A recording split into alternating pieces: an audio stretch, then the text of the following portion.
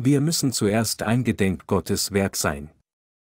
Matthäus 16, 21 bis 25, seit der Zeit fing Jesus an, seinen Jüngern zu zeigen, wie er nach Jerusalem gehen und viel leiden müsse von den Ältesten und Hohenpriestern und Schriftgelehrten und getötet werden und am dritten Tage auferstehen. Und Petrus nahm ihn beiseite und fuhr ihn an und sprach, Gott bewahre dich, hier. Das widerfahre dir nur nicht.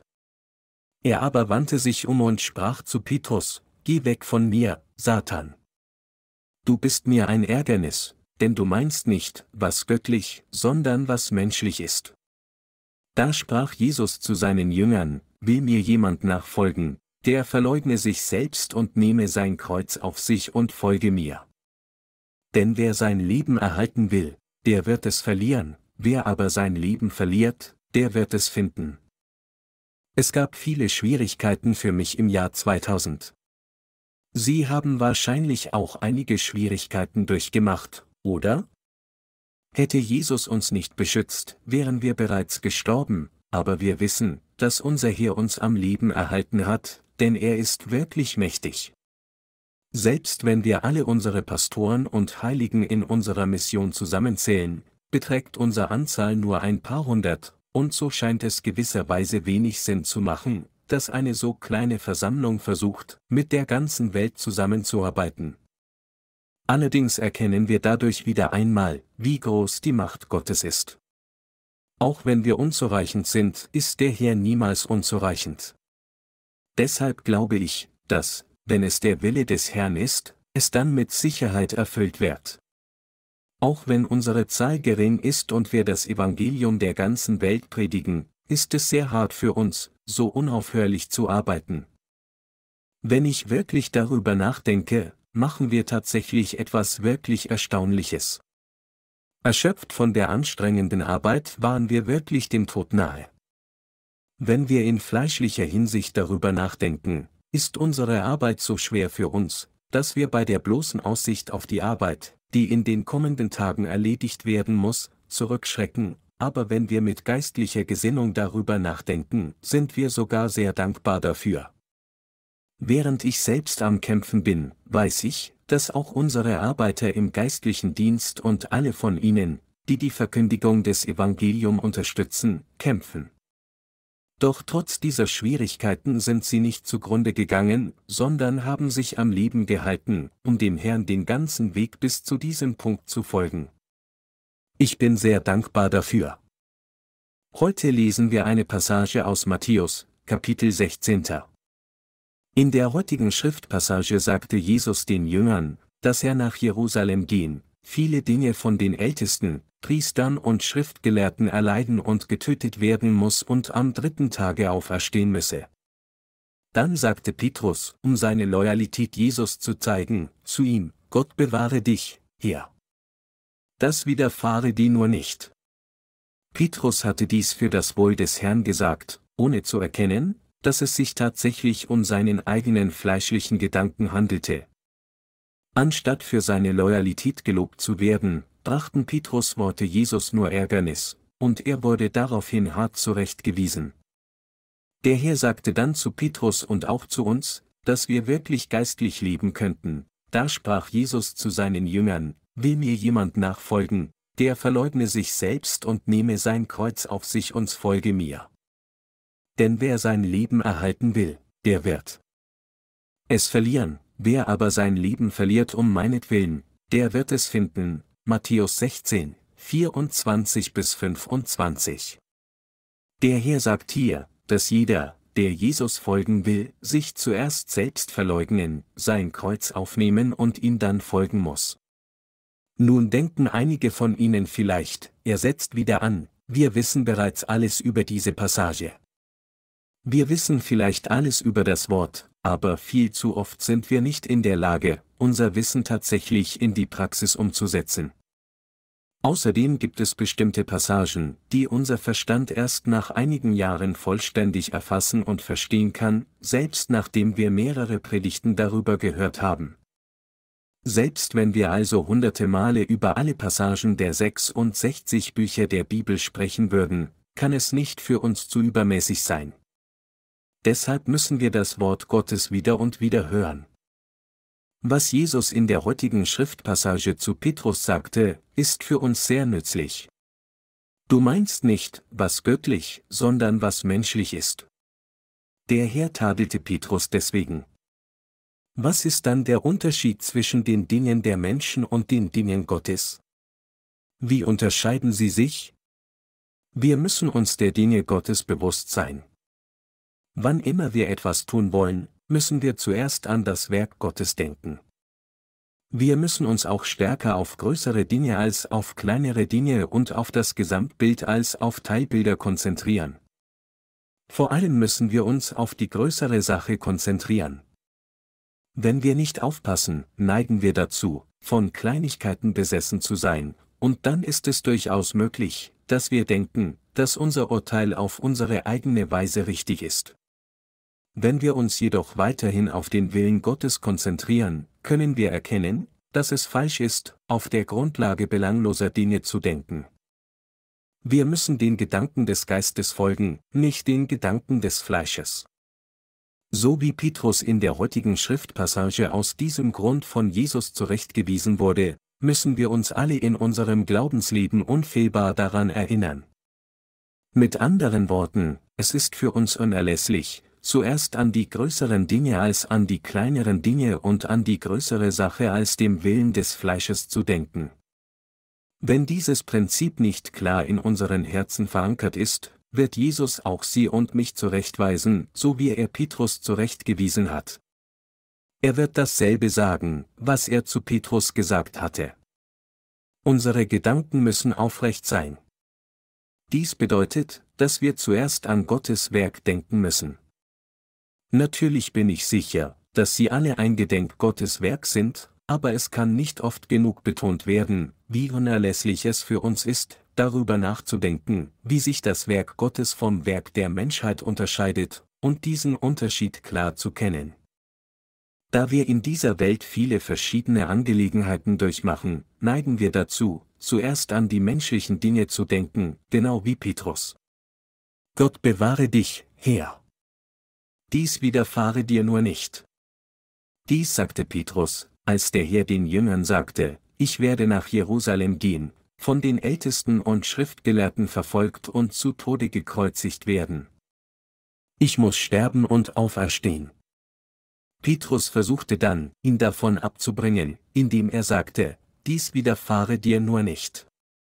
Viele Christen auf dieser Welt und manchmal sogar Sie und ich, die bekennen, dem Herrn zu dienen, denken und sagen allzu oft wie Petrus. Aber Sie und ich dürfen niemals so tun.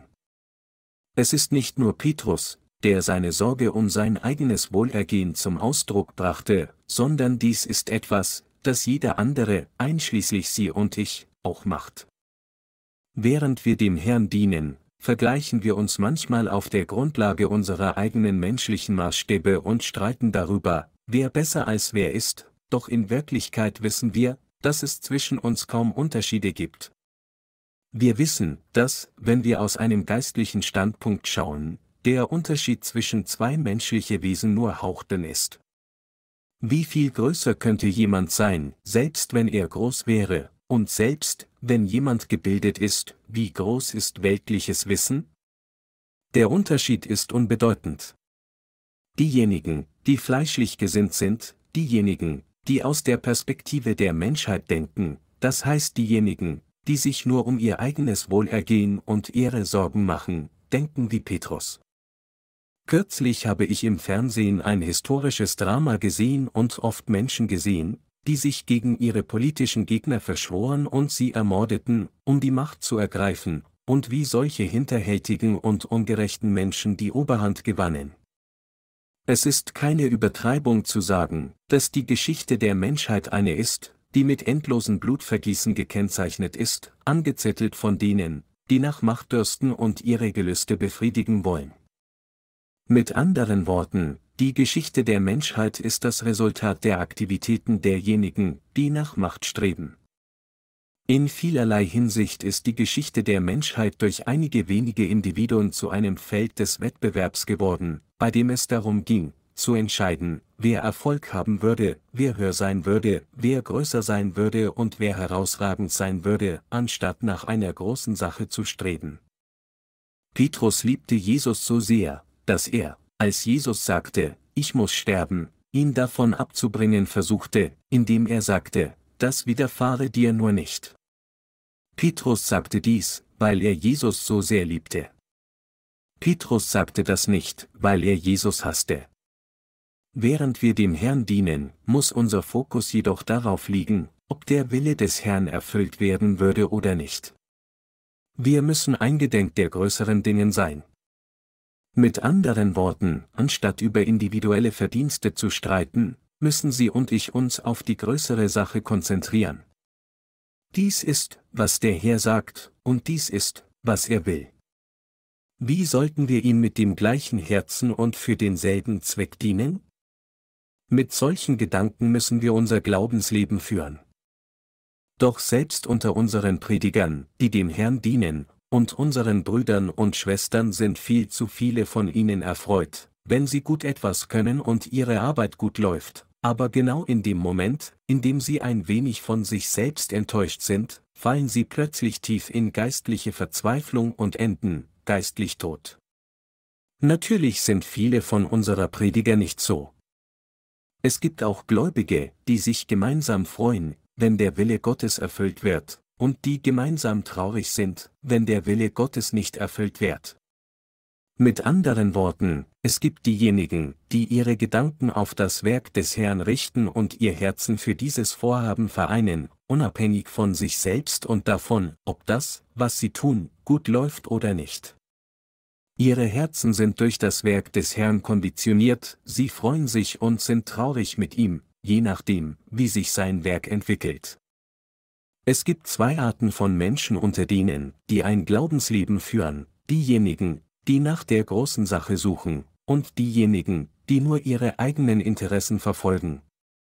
In der Gemeinde von Korinth gab es einige Gläubige, die unterschiedliche Fraktionen gebildet hatten und sagten, ich bin von Apollo, ich bin von Petrus, ich bin von Paulus. Ebenso gibt es heute viele Christen, die nur den menschlichen Dingen eingedenk sind und sich nicht um den Willen des Herrn kümmern. Diese Leute denken alle wie Petrus. Doch Gott kann nicht durch solche Christen wirken. Deshalb waren die Gläubigen dieser Gemeinden die zuerst verderbt wurden, sobald Rom den Christen Religionsfreiheit gewährte. Berauscht von der Welt endeten sie alle damit, die Wahrheit der Erlösung zu verlassen und auf das gerechte Werk Gottes zu verzichten. Infolgedessen wurden diese Regionen zu den ersten Orten, an denen das Werk des Evangeliums verschwand. Während des Winter Jesus, New Life Jüngerschaftstrainingslager 2001 möchte ich jedem die folgende Frage stellen, auch mir selbst, allen unseren Mitarbeitern, unseren Heiligen und sogar den Unerlösten, die immer noch nicht an dieses Evangelium glauben, sind sie eingedenk den Dingen Gottes oder den Dingen des Menschen. Ich möchte das Wort teilen, um diese Frage anzugehen. Wenn wir eingedenk den Dingen des Menschen sind, muss am Ende alles unseren Wunsch erfüllen. Was auch immer wir mit solch einer Einstellung tun, wir sind nur glücklich, wenn unser Wunsch erfüllt wird, und unglücklich, wenn nicht. Aber wie ist es, wenn wir eingedenk der Dinge Gottes sind? Wenn Gott sagt, ich habe dich so gerettet, dann ist das Richtige für uns, unabhängig davon, ob dieses Wort uns gefällt oder nicht, Amen, zu sagen. Wenn Sie dies tun müssen, dann müssen Sie so tun. Abhängig davon, ob wir geistlich auf die größere Sache ausgerichtet sind oder egozentrisch-humanistischen Gedanken erliegen, werden Erfolg und Misserfolg unseres Glaubensleben bestimmt. Als Jesus sagte, dass er sterben müsse, versuchte Petrus ihn davon abzubringen, indem er sagte, nein, das darf niemals geschehen. Doch er wurde nur von Jesus zurechtgewiesen, der ihm sagte, Geh weg von mir, Satan. Dies bedeutet, dass diejenigen, die nur eingedenk der Dinge der Menschen sind, eine Brut des Teufels sind. Weil sie und ich beide Fleisch haben, ist es extrem schwer, dieses Fleisch zu verleugnen. Um ein Glaubensleben zu führen, ist es jedoch immer noch absolut notwendig, dass wir uns selbst verleugnen. Genau wie Jesus in der heutigen Schriftpassage sagte, wer immer dem Herrn nachfolgen will, muss sich selbst verleugnen, sein Kreuz auf sich nehmen und ihm folgen. Deshalb ist es für uns alle Wiedergeborenen solch ein Kampf, ein Glaubensleben zu führen. Doch auch wenn es schwierig ist, müssen wir uns selbst prüfen, um zu sehen, worauf wir in unserem Glaubensleben tatsächlich achten. Wir müssen uns fragen, ob wir eingedenk der fleischlichen Dinge oder dem Willen des Herrn sind, ob unsere Gedanken der Menschheit oder des Geistes sind und ob wir dem Herrn gemäß seinem Wunsch oder mit der Denkweise des Menschen dienen. Diejenigen, die sich den Erfolg von Gottes Werk wünschen und deren Herzen der Erfüllung des Willens Gottes gewidmet sind, sind eindeutig Gottes Arbeiter und seine Diener. Auch wenn der Wille Gottes nicht sofort erfüllt wird, setzen solche Menschen ihr Ziel auf diesen Willen, sie arbeiten und opfern sich selbst dafür und laufen diesem Ziel entgegen. Wenn es der Wille Gottes ist, dann laufen diese Menschen darauf zu, unabhängig davon, ob es gelingt oder nicht, und sie freuen sich, wenn diese Werk erreicht ist. Tatsächlich gibt es nur wenige Dinge, die ihnen Freude bereiten, außer dem Werk Gottes. Klar müssen solche Menschen Gottes Arbeiter und seine Diener sein. Im Gegensatz dazu, wenn jemand sich nicht darum kümmert, was mit dem Willen Gottes und seinem Werk passiert, sondern nur an seine eigene Zufriedenheit und seinem Wohlergehen interessiert ist, er sich freut, wenn seine eigene Arbeit gut läuft, und traurig ist, wenn es nicht klappt, dann ist er streng genommen kein wahrer Arbeiter Gottes. All diejenigen, die dem Herrn dienen, müssen sich sorgfältig selbst prüfen, um zu sehen, ob sie tatsächlich Gott oder sich selbst dienen, und sie müssen ihr ganzes Herz dem Leben für den Herrn widmen. Wir predigen jetzt das Evangelium aus Wasser und Geist auf der ganzen Welt. In gewisser Weise mag das Verkünden des Evangelium auf der ganzen Welt wie eine enorme Herausforderung scheinen, aber wenn wir es mit Glauben sehen, ist es eine Herausforderung, die wir begegnen können weil der Herr uns gesagt hat, das Evangelium jeder Nation auf der ganzen Welt zu verkünden, weil dies der Wille des Herrn, sein Wohlgefallen und sein Gebot ist, weil des Herrn Gebot unfehlbar erfüllt wird und weil wir die Instrumente sind, die für dieses Werk verwendet werden, ist alles, was wir tun, einfach diesem Gebot zu gehorchen. Es gibt keinen anderen Grund. Ehrlich gesagt denke ich, dass es in der gesamten Geschichte des Christentums keine Missionsorganisation oder Denomination auf der Welt gab, die so hart gearbeitet hat wie wir. Gibt es eine Missionsgruppe, die das Evangelium in über 200 Nationen auf der ganzen Welt predigt? Es gibt keine Denomination auf dieser Welt, egal wie groß sie ist, die die ganze Welt im Sinn hat wie wir. Dies ist eine beachtliche Leistung, wenn wir damit prahlen würden. Aber wie ist es, wenn Gott uns aus seiner Sicht sieht? Wie ist es, wenn wir uns selbst aus der Perspektive Gottes oder durch die Augen des Glaubens betrachten? Wir tun einfach das, was Gott uns als seine Diener aufgetragen hat, nicht mehr, nicht weniger. Wenn wir, die Wiedergeborenen, Gottes Werk ausführen, wie werden unsere Herzen und unser Glaube eingestellt sein? Wir müssen in allem, was wir tun, eingedenk dem Werk Gottes sein. Wenn wir in unserem Glaubensleben traurig sind und kämpfen, liegt es alles daran, weil unsere Herzen an unserem eigenen Fleisch hängen. Gottes Werk selbst ist nicht die Ursache unserer Traurigkeit oder Erschwernis. Natürlich haben wir in Machenfällen das Gefühl, dass unsere Traurigkeit und Prüfungen darauf zurückzuführen sind, dass wir dem Herrn dienen. Wenn wir dies jedoch noch einmal überdenken, können wir sehen, dass es ist, weil wir auf die Dinge der Menschen achten, dass unsere Herzen in die Irre gehen und leiden. Wenn wir auf der Grundlage menschlicher Maßstäbe und der Dinge der Menschen denken, sind wir traurig und fühlen uns so überarbeitet. Wenn wir aus Gottes Perspektive denken, das heißt auf der Grundlage des Willens Gottes, dann ist es für uns nur eine Tatsache, jeden Preis von Opfer zu bezahlen. Und wenn wir darüber nachdenken, wie viel von Gottes Werk durch unser Opfer erreicht wird, werden unsere Herzen froh und glücklich. Ich sage diese Dinge nicht, um sie zu tadeln, als ob einige von ihnen etwas Falsches getan oder gesagt hätten. Vielmehr sage ich diese Dinge nur, damit wir in der heutigen Zeit, in der der Tag der Wiederkunft des Herrn nicht mehr so weit entfernt ist, alle unseren Glauben angemessen verfeinern und ein Glaubensleben führen würden, das wirklich frei von jeglichem Bedauern oder Versagen ist. Sie und ich sind Gottes Volk, das dem Herrn folgt. Ich weiß, dass sie hart gearbeitet und viel geopfert haben, während sie dem Herrn gefolgt sind, und dass sie viel verloren und auch gewonnen haben. Dies ist, wie wir Gerechten unsere Leben geführt haben.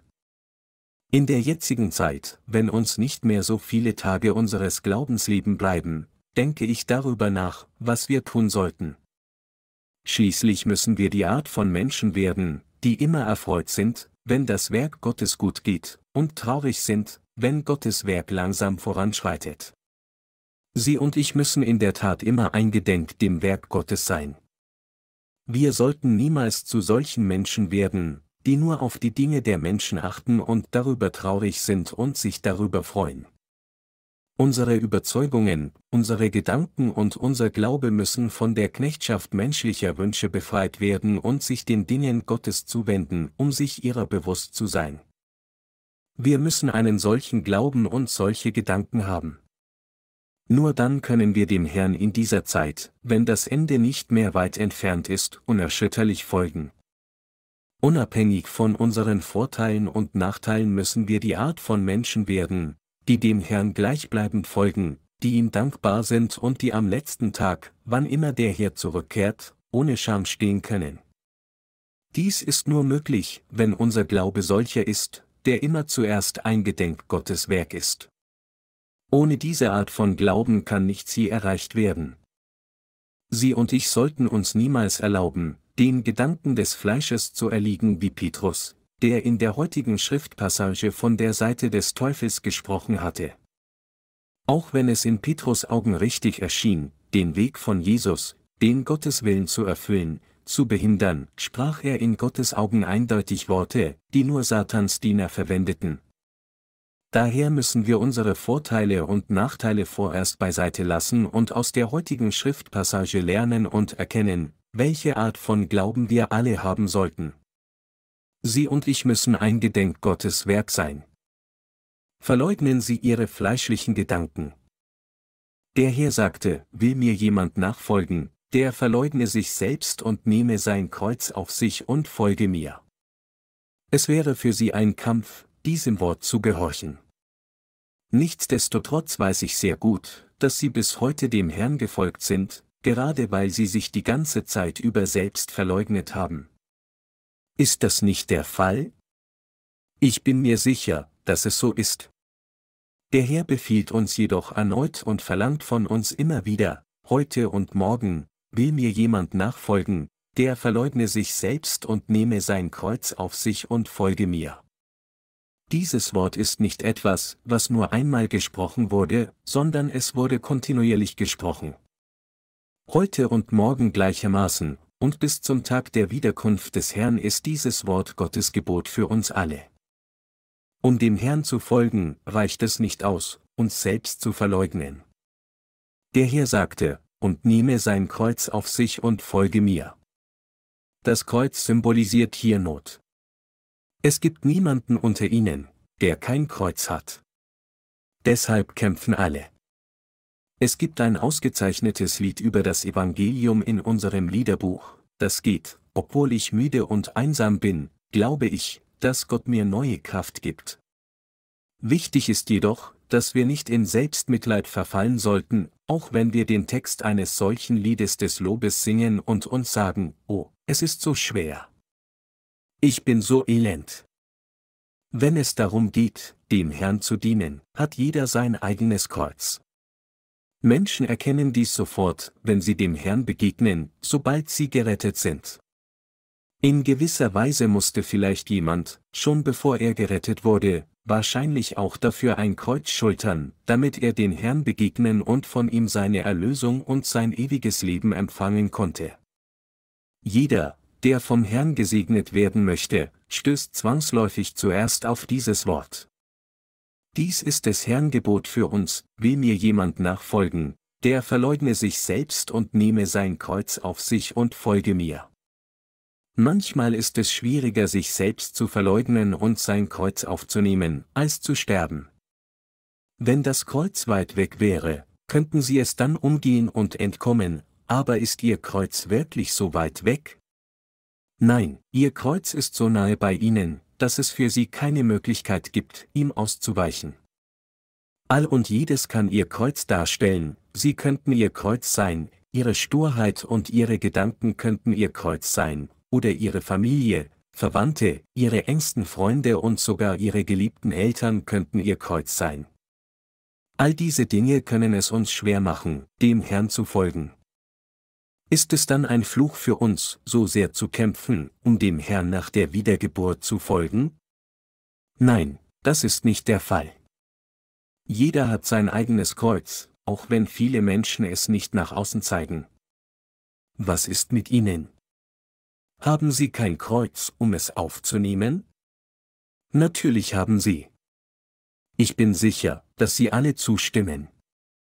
Weil jeder sein eigenes Kreuz zu tragen hat, gibt es niemanden, der nicht kämpft, während er dem Herrn dient.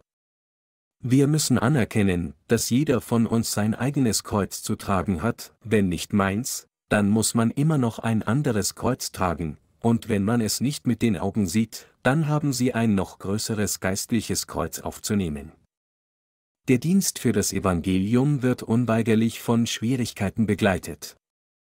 Da es das ist, was der Herr selbst gesagt hat, ist es tatsächlich seltsam, auf jemanden zu stoßen, der nicht kämpft. Doch selbst inmitten solcher Prüfungen befiehlt uns der Herr, ihm zu folgen. Wir sollten deshalb unser Kreuz annehmen und umso dankbarer dafür sein. Wenn wir kein Kreuz zu tragen hätten, wie stolz wären wir dann? Es gibt viele von uns, die, ohne ein Kreuz zu tragen, so eingebildet werden würden, dass es ein völlig unerträglicher Anblick werden würde. Eine solche Person, die davon überzeugt ist, allein würdig zu sein, würde seine eigenen Brüder und Schwestern des Glaubens verachten und sich in einen Stein des Anstoßes verwandeln, der sie zum geistlichen Tod führt, indem er zu ihnen sagt, ist das alles, was du tun kannst? Das ist nicht das richtige Glaubensleben, dies ist das richtige Glaubensleben dann wäre hier niemand mehr übrig. Sie würde allein in der Gemeinde enden und ihr Glaubensleben führen, als wäre sie größer als Jesus selbst. Solche Menschen könnten niemanden ertragen, der auch nur ein bisschen schwach ist. Dies kann uns jedoch niemals passieren, denn Sie und ich haben gleichermaßen ein Kreuz zu tragen. Wenn unser Kreuz ein Holzkreuz wäre, könnten wir es einfach abnehmen, aber das können wir nicht tun, weil dieses Kreuz uns immer begleitet. Für diejenigen, die viel gekämpft haben, ist es unvermeidlich, Mitgefühl mit anderen kämpfenden Seelen zu haben und ihre Schwächen zu ertragen, gerade weil sie selbst solche Prüfungen durchgemacht haben. Es ist, weil sowohl sie als auch ich so sind, weil wir tolerant zueinander sind, dass wir nun hier versammelt sind, um gemeinsam anzubeten und dem Evangelium zu dienen. Jeder, der dem Herrn dient, hat ein Kreuz zu tragen. Deshalb hat uns der Herr geboten, uns selbst zu verleugnen, unser Kreuz aufzunehmen und ihm zu folgen. Beim Glauben geht es darum, dem Herrn zu folgen, egal was uns geschieht. Mit anderen Worten, es geht darum, uns selbst zu verleugnen und dem Herrn zu folgen. Dieses Wort ist die Wahrheit, die wir unbedingt zugeben müssen, selbst wenn wir es tausende und zehntausende Male hören. Unabhängig von unseren Umständen und Situationen müssen wir dieses Wort auf unseren Glauben, unsere Gedanken und unsere aktuellen Umstände anwenden. Und wenn es irgendetwas gibt, das uns zwingt, uns selbst zu verleugnen, dann müssen wir uns tatsächlich selbst verleugnen. Diejenigen, die sich für zu schwach halten, sollten solche Gedanken verleugnen und sich selbst sagen, dass sie stark in Christus sind, denn sie glauben an den Herrn. Auf der anderen Seite sollten diejenigen, die denken, sie seien stark und perfekt genug, auf den Herrn schauen und sich sagen, dass sie tatsächlich nichts sind. Sie und ich müssen uns alle selbst verleugnen und unser Kreuz auch in unserer Not aufnehmen, und wenn diese Not vom Herrn zugelassen wurde, schauen sie auf den Herrn und folgen ihm. Der Herr sagte zu uns, will mir jemand nachfolgen, der verleugne sich selbst und nehme sein Kreuz auf sich und folge mir. Wir haben keine andere Wahl, als dem Herrn zu folgen und dieses Wort anzunehmen. Warum? Weil ihre Vorgänger des Glaubens dem Herrn auch in ihrer Not gefolgt sind. Wenn sie zufällig denken, es scheint mir, dass meine Vorgänger des Glaubens überhaupt keine Schwierigkeiten haben. Sie scheinen sich selbst ganz gut zurechtzufinden und sind immer glücklich, dann könnte man nicht falscher liegen. Die Vorgänger des Glaubens in Gottes Gemeinde haben sich für eine lange Zeit selbst verleugnet, um dem Evangelium zu dienen und dem Willen des Herrn zu folgen. Es ist, weil es so hart und schwierig ist, dass, wenn ihre Vorgänger des Glaubens zusammenkommen, sie eine Weile Fußball spielen. Revé Kim, der jetzt allein in den Vereinigten Staaten ministriert, vertraute mir einmal an, dass es niemanden gab, der mit ihm Fußball spielen konnte. Er erinnerte sich gerne daran, wie viel Spaß es ihm gemacht hat, mit uns Hallenfußball zu spielen, mit einem Ball, der aus einigen Stücken Schwamm oder Socken gemacht war, als er in Korea war. Er erzählte mir auch, dass er, wenn er Auto fährt, sich selbst dabei findet, ständig koreanische Lieder zu singen. Ich kann dies ganz gut verstehen. So schwer ist es für Revé. Kim, dem Herrn zu folgen, während er sich selbst verleugnet, um die Dinge Gottes zu erreichen.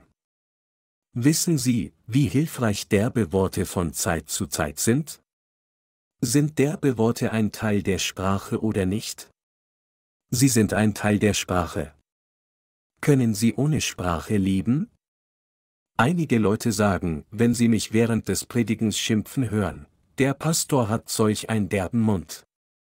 Aber normalerweise schimpfe ich nicht so sehr. Wenn mein Herz jedoch Feuer und Flamme ist, schimpfe ich ziemlich oft. Ich kann nicht anders. Wenn ich nicht schimpfe, würde mein Blutdruck in die Höhe schießen und ich würde daran sterben. Wenn ich gestresst bin, steigt mein Blutdruck so sehr, dass ich nichts mehr sehen kann, nicht einmal Leute, die direkt vor mir stehen. Wenn also keine Menschen um mich herum sind, zögere ich nicht, einige der schlimmsten Obszönitäten auszusprechen, wenn eine Dose auf dem Boden liegt, trete ich dagegen, oder ich gehe ins Bad, drehe den Wasserhahn auf, damit mich niemand hören kann und schimpfe wie ein Pirat. Was passiert, nachdem man so viel geschimpft hat? Ich frage mich, ist dies nicht zu viel? Bist du nicht auch wie alle anderen? Warum beschwerst du dich also über andere, wenn du nicht anders bist? Ich antworte mir dann selbst, ja, das stimmt. Ich bin nicht besser, aber es ist einfach so hart und schwierig. Ich fühle mich so beschämt. Was wäre geschehen, wenn der Herr nicht drei, drei Jahre lang auf dieser Erde gelebt hätte? Er erlebte, wie schwer es ist, mit dem Fleisch zu leben.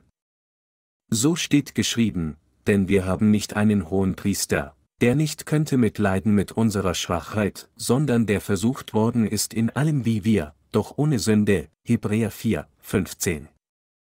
Hätte Jesus nicht selbst erfahren, dass das Leben selbst ein Kreuz ist, dann würde er niemals unsere Gebete beantworten. Weil der Herr alles, was wir durchmachen, selbst erlebt hat, kennt er unsere Gebetsanliegen und möchte uns Schwachen helfen. Deshalb beten wir zum Herrn. Heute möchte ich Sie alle ermahnen, eingedenk den Dingen Gottes anstatt den Dingen des Menschen zu sein. Wir sollten aufhören, an den menschlichen Dingen zu klammern. Wir müssen aufgeschlossen sein, wenn wir engstirnig sind, werden wir uns nur in weltliche Schurken verwandeln. Wenn wir unsere größere Sache aufgeben und nur an uns selbst denken, dann wird am Ende alles nur für uns selbst und für unsere eigene Fraktion getan. Wir sollten für den Herrn leben, und so, wie lächerlich wäre es, wenn wir uns nur um uns selbst und nicht um den Herrn kümmern würden?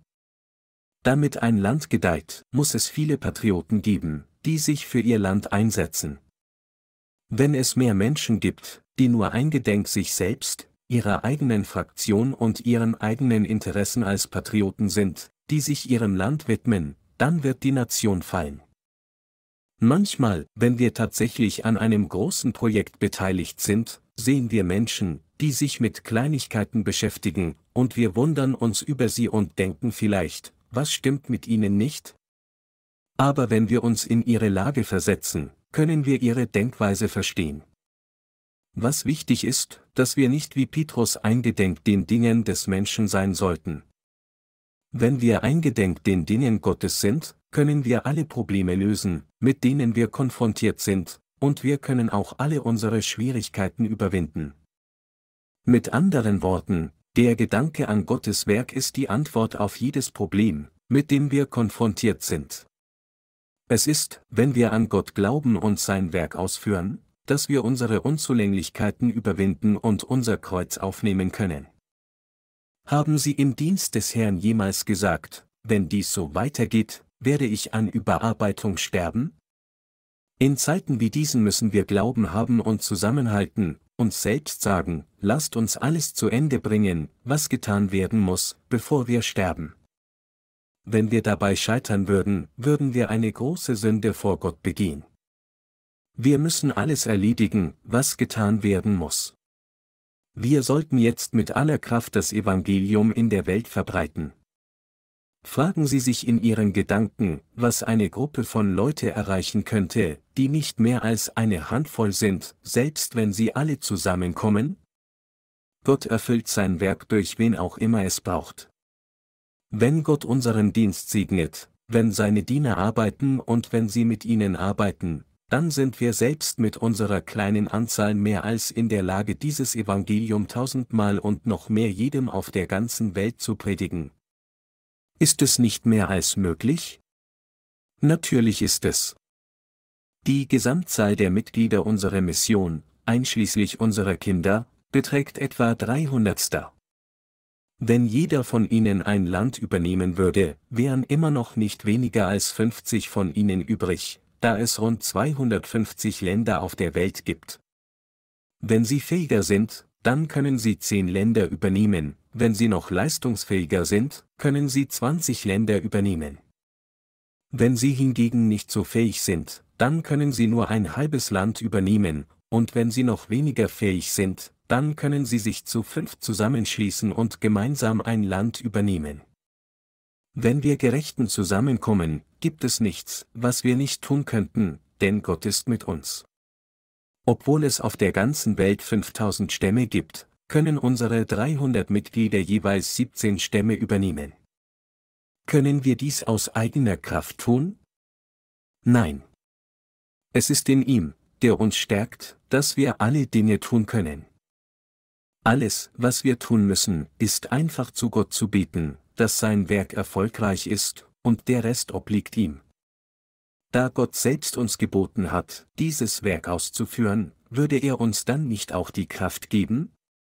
Ab diesem und dem nächsten Jahr plane ich, das Evangelium innerhalb von zwei Jahren in den meisten Teilen der Welt zu verbreiten. Und ich glaube, dass, wenn wir hart arbeiten, dies erreichen können.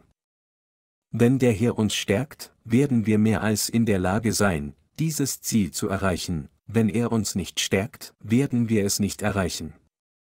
Da der Herr selbst uns gesagt hat, dieses Werk auszuführen, müssen wir es nur tun und dabei auf den Herrn vertrauen. Doch wie wenige allein in Korea haben dieses Evangelium angenommen, obwohl wir es so fleißig gepredigt haben? Und wie viele unzählige Menschen haben es abgelehnt? Dasselbe gilt auch für andere Länder. Trotzdem können nun diejenigen, die auf der Suche nach Gott auf der ganzen Welt sind, problemlos auf unsere Bücher zugreifen und sie lesen. Wir geben unsere Bücher kostenlos weiter und stellen elektronische Bücher zur Verfügung, damit jeder, der auf der Suche nach Gott ist, dem Herrn begegnen kann. Diejenigen, die nicht nach Gott suchen und nicht eingedenk seinem Werk sind, können dem Herrn nicht begegnen, selbst wenn sie neben uns in Korea leben.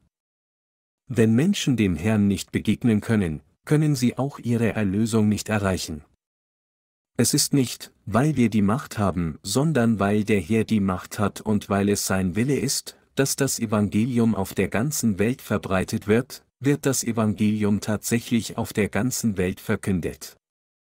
Alles, was wir tun, besteht darin, dieses Werk nur durch Glauben auszuführen. Kann das Werk des Dienens dem Herrn scheitern?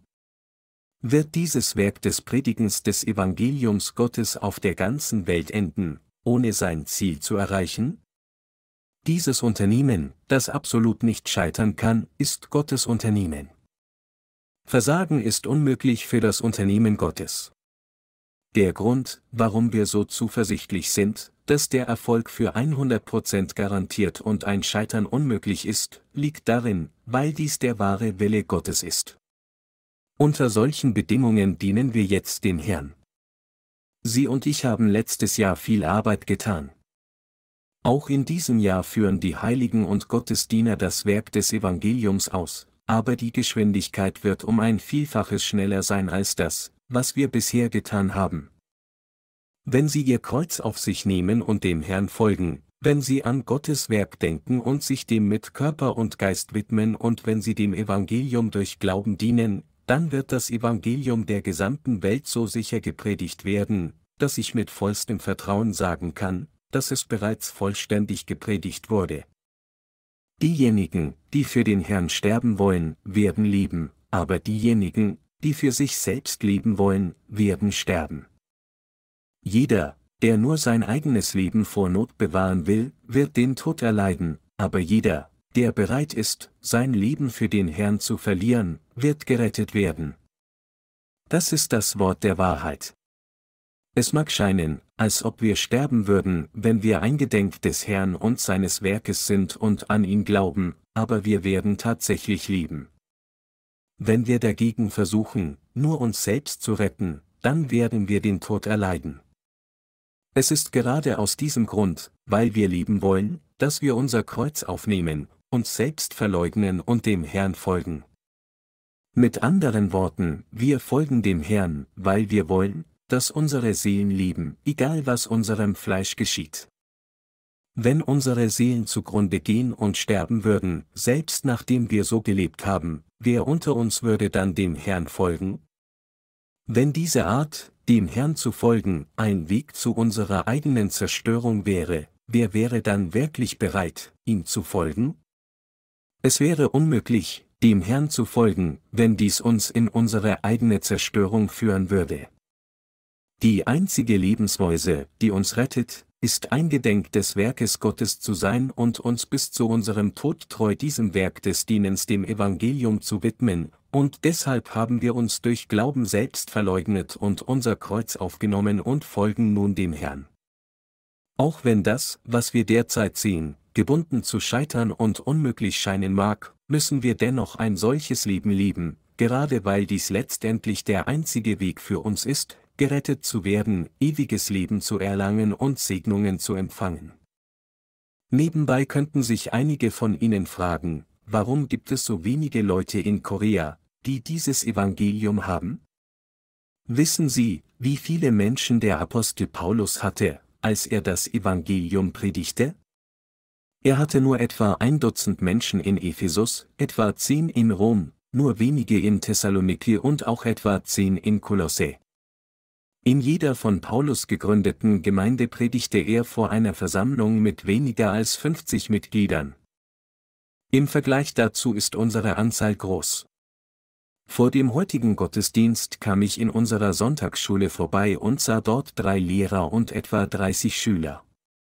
Ehrlich gesagt ist unsere Sonntagsschule im Vergleich zur Sonntagsschule einer Megakirche auf der Welt tatsächlich eine winzige Versammlung, selbst wenn alle Kinder unserer Zweiggemeinden versammelt wären. In Gottes Augen ist unsere Sonntagsschule jedoch eine enorm großartige Versammlung. Hier gibt es Leben und das Wort, die Lehrer sind wahre Lehrer, die das Evangelium aus Wasser und Geist predigen, und die Schüler, die den Worten dieser Lehrer lauschen, sind eindeutig auch wiedergeborene Schüler. Wenn unsere Sonntagsschule-Schüler in Gottes Gemeinde das Wort hören, glauben sie sofort daran und setzen es in die Praxis um, sobald sie es gelernt haben. Nachdem wir unsere Erlösung erlangt haben, versammeln sie und ich sich nun so in Korea, beten den Herrn an und dienen ihm. Obwohl es nicht viele Brüder und Schwestern gibt, die sich in Korea versammeln, ist die Zahl unserer Gemeindemitglieder sehr groß, wenn wir alle wiedergeborenen Heiligen auf der ganzen Welt zählen. wenn es auf der Welt eine Denomination gibt, die größer ist als wir, soll sie aufstehen. Sollten wir alle unsere Heiligen und Gottesdiener auf der ganzen Welt versammeln und einen geistlichen Kampf mit allen christlichen Sündern der Welt führen? Selbst wenn sie uns zu Tausenden angreifen würden, würden wir nicht besiegt werden, sondern sie stattdessen besiegen, selbst wenn wir nur ein Dutzend gerechter Menschen an unserer Seite hätten. Weil die Gerechten das Wort, das Schwert der Wahrheit, haben, werden sie, wenn wir die Bibel öffnen und ihnen ein paar Passagen zeigen, zugeben, dass ihr Glaube falsch ist. Vor langer Zeit gab es eine Zeit, als Elia, ein Prophet Gottes, sich in einer Höhle versteckte. Gott rief ihn zu der Zeit. So sagte Elia, hier, jeder der dich fürchtet ist jetzt tot, und all deine Diener sind getötet worden. Ich bin allein übrig geblieben. Was sagte unser Herr dann zu ihm? Er sagte, und ich will übrig lassen 7000 in Israel, alle Knie, die sich nicht gebeugt haben vor Baal, und jeden Mund, der ihn nicht geküsst hat, 1. Könige 19 Uhr und 18 Minuten. In jedem Winkel der Welt gibt es noch Gottes Volk. Auch wenn wir sie mit unseren Augen nicht sehen können, ist sein Volk in Gottes Augen überall. Der Diener Gottes, der den Gottesdienst leitete, bevor ich meine Predigt begann, sagte, dass es in unserer Gemeinde in Korea etwa 100 Gemeindearbeiter gibt, aber in Wirklichkeit sind es weitaus mehr auf der ganzen Welt. Das ist, was ich glaube. Diese Menschen aus allen Teilen der Welt vereinen sich mit uns. Sie verteilen unsere Bücher und das Evangelium wird durch ihre Lippen gepredigt. So viele Menschen haben durch sie die Vergebung ihrer Sünden erhalten, dass in der Endzeit unsere Denomination die größte Denomination der Welt sein wird. Auch heute noch ist ihre Zahl riesig, wenn wir sie alle zählen würden, aber ich ermahne Sie, mit Ihren Augen des Glaubens zu sehen, wie viele weitere Mitarbeiter aus allen Ländern in der Endzeit uns hinzugefügt werden. Im Buch der Offenbarung steht geschrieben, dass am jüngsten Tag eine unzählige Menschenmenge angetan mit weißen Kleidern vor dem Herrn kommen wird, Offenbarung 7 zu 9. Also fragte der Apostel Johannes den Herrn, Herr, wer sind diese Menschen? Dann sagte der Herr, dass sie diejenigen waren, die aus der großen Trübsal kamen, Offenbarung 7, 14. Wer sind diese Menschen, von denen das Buch der Offenbarung hier spricht? Sie sind diejenigen, die aus Wasser und Geist wiedergeboren wurden. Mit anderen Worten, diejenigen, die mitten der großen Trübsal durch Glauben an das Evangelium aus Wasser und Geist triumphierten und die Erlösung von Gott empfingen, werden alle zur gleichen Zeit kommen. Ich glaube daran mit meinen Augen des Glaubens, Gegenwärtig gibt es in unserer Mission nur etwa 300 Mitarbeiter und Heilige, aber wenn wir in jedem der Länder nur 300 Mitarbeiter zählen, wird eine beträchtliche Anzahl von Menschen gerettet werden und vor den Herrn kommen. In der Endzeit werden unzählige Menschenmengen die Vergebung ihrer Sünden erhalten. Meine Glaubensgenossen, glauben Sie an dieses Wort der Bibel? All diese Dinge werden von Gott getan. Es ist Gott selbst, der alles nach seinem Willen bewirkt. Wir sind nur seine Instrumente, aber als seine Instrumente müssen wir eingedenk seinem Werk in unserer Arbeit sein. Das ist alles, was wir tun. So haben wir auch in den Jahren 2000, 2001 und 2002 gearbeitet, und bis zum Tag der Wiederkunft des Herrn werden wir dieses Werk immer weiterführen. Uns bleibt nicht mehr so viel Zeit, um im Ausland zu arbeiten. Einige Brüder sagten, wenn das Jahr 2002 vorbei ist und Jesus immer noch nicht zurückgekehrt ist, dann lasst uns einfach aufgeben, ihm zu dienen, aber das ist nicht, wenn die Welt endet und Jesus zurückkehrt. Ein Bauer muss den Samen zu einer geeigneten Zeit aussäen. Nur wenn er die Saat genau zur richtigen Zeit aussät, kommen Sprossen und Blumen blühen. Es ist dann, dass der Bauer die Ernte einfahren kann, wenn es soweit ist. Wir arbeiten jetzt daran, den Samen zu säen. Obwohl dieses Werk zunächst sehr klein erscheinen mag, wird sein Ende außerordentlich groß sein. Es ist bereits sehr groß und es sind viele Früchte geerntet geworden. Es wird noch größer werden. Wenn ein einziges Samenkorn gesät wird und sprießt, wie viele Früchte werden geboren? Er trägt viele Früchte. Es ist das gleiche Prinzip. Wir sehen jetzt den Samen des Evangeliums auf der ganzen Welt, und wenn eine Person das Evangelium annimmt, wird sie 30, 60 und 100-fach mehr Früchte tragen.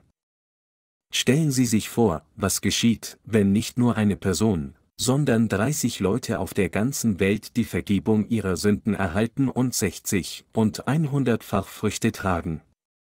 Wenn all diese Leute hinausgehen und das Evangelium verbreiten würden, wird die Frucht ihrer Arbeit exponentiell zunehmen. Wenn wir einer Person das Evangelium gepredigt haben, bedeutet dies, dass es nicht das Ende von allem ist, vielmehr ist es allein dadurch möglich, dass Millionen und zehn Millionen weiterer Menschen die Vergebung ihrer Sünden erhalten. Mit anderen Worten, wegen dieser einen Person ist es, dass das Evangelium auf der ganzen Welt verbreitet wird. Während wir mit unserem Leben in dieser Zeit fortsetzen, müssen wir unsere humanistischen Augen und Gedanken beiseite legen und uns stattdessen auf das Werk Gottes und sein Wort der Wahrheit konzentrieren. Wir müssen an Gottes Werk denken, uns selbst verleugnen, unser Kreuz aufnehmen und dem Herrn folgen. Auch wenn wir in unseren Prüfungen nicht in der Lage sein mögen, alles zu 100% zu verleugnen, müssen wir uns dennoch so viel wie möglich selbst verleugnen und dem Herrn folgen. Wir müssen uns jeden Tag selbst verleugnen, da immer etwas bleibt, was wir heute und morgen gleichermaßen verleugnen müssen. Es gibt niemanden, der vollendet ist. Bis zu dem Tag, an dem wir vor der Gegenwart des Herrn stehen, wird es für uns Schwierigkeiten geben und es wird auch viele Dinge geben, die wir verleugnen müssen.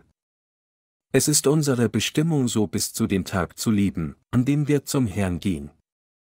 Denken Sie bei Gelegenheit, dass Sie der Einzige sind, der kämpft?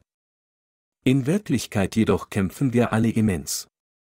Das liegt daran, weil jeder von uns sein eigenes Kreuz aufnehmen und sich selbst verleugnen muss. Doch selbst inmitten all dessen verleugnen wir uns jeden Tag und leben für den Herrn. Selbst in unserer Not leben wir täglich durch die Kraft und die Gnade, die der Herr uns gegeben hat. Wir tun sein Werk, indem wir auf die Gnade Gottes vertrauen, und weil wir diese Gnade Gottes gefunden haben, führen wir jetzt das Werk des Herrn aus. Daher bedeutet die Nachfolge des Herrn durch seine Gnade, das richtige Glaubensleben zu führen. Obwohl es einfach ist, mit Worten über das Führen eines solchen Glaubenslebens zu sprechen, ist es tatsächlich schwer, es im wirklichen Leben umzusetzen. Es war für sie und mich so schwer, unsere Pflichten nachzukommen, während wir uns Tag für Tag selbst verleugneten. Ich bin sehr erfreut, sie auf diese Weise wiederzusehen, und ich bin Gott so dankbar, dass sie nicht geistlich zugrunde gegangen sind, sondern durch Glauben gelebt haben, während wir dem Evangelium in den letzten Monaten getrennt gedient haben. Meine Glaubensgenossen, lassen Sie uns nicht zugrunde gehen, sondern treu bis zum letzten Tag lieben. Lassen Sie uns durch Glauben leben und die Krone aufsetzen, wenn der Herr wiederkehrt. Lassen Sie uns alle bis zu diesem Tag durch Glauben ausharren und die Art von Dienern sein, die von Gott gelobt anstatt am letzten Tag getadelt werden. Im Gleichnis von Zentner hinterließ ein Meister seinen Diener fünf Zentner, zwei Zentner und jeweils ein Zentner. Während der Meister die Diener lobte, die fünf Zentner und zwei Zentner als Gewinn abgeliefert hatten, wurde der Diener, der ein Zentner erhalten hatte, vom Meister getadelt und vertrieben, da er ihn im Boden vergraben hatte, anstatt ihn zu nutzen. Es ist besser für uns, unsere Prüfungen zu ertragen und dem Herrn jetzt zu folgen, indem wir auf ihn vertrauen, damit wir an diesem Tag nicht vom Herrn getadelt und in die Finsternis hinausgestoßen werden würden, sondern stattdessen seine Gnade anziehen. Um zu lieben und um mehr zu gedeihen, ermahne ich Sie, sich selbst zu verleugnen und dem Herrn treu zu folgen. Es ist meine Hoffnung und Gebet, dass Sie alle dem Herrn auch in Ihrer Not bis zu dem Tag folgen würden, an dem sie den Herr von Angesicht zu Angesicht sehen.